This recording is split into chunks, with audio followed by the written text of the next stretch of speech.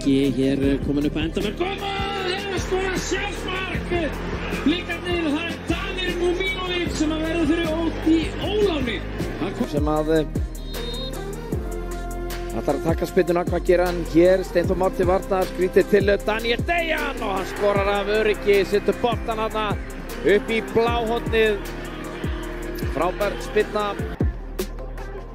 Kristinn Jónsson kemur boltanum á Erling á Daniel Dejan og Daniel Dejan með skot og þetta fer hann í bláhóttnið Steintor Már ræður ekki við þetta og hafið að verið einhver vafi á því. Erlingur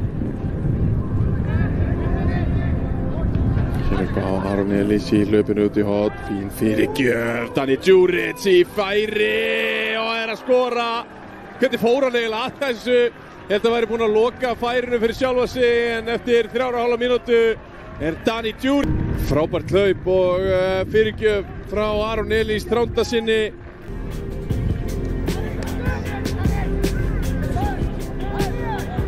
Það bóltan um byggingar Viktor. Vorum hér á næstsvæði þetta er uh, Valdemar Þór og svo Daniel Djuric. Sem er að koma vikingum aftur yfir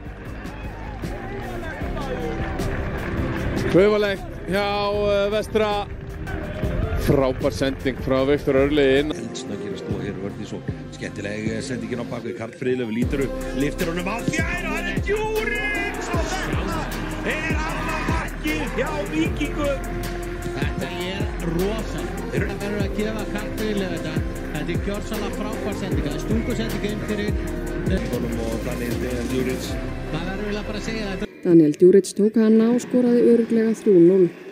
Ekkert var skorað í setni áleiknum og örugur Sigur Víkings í niðurstaðan. Ég er kannski til að rólega Það eru sína hjá vikingum en það var að frábært. Og hjá er þetta mark hjá Daniel Dejan Djuric.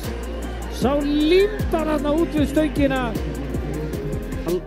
Keirir hérna á Vatnamar og Óskar Örn kemur og hundi bóltans Óskar á Erling Þannig þurfa vingar að flýta sér hérna að finna Sigurmarki Óskar með sendingur Daniel Djuric þessi í netinu Daniel Dejan Djuric með flöytumark á 90.50 mínútu Víkingar að komast í 4-3 Arnar Gunnlaugsson mættur inn á völlin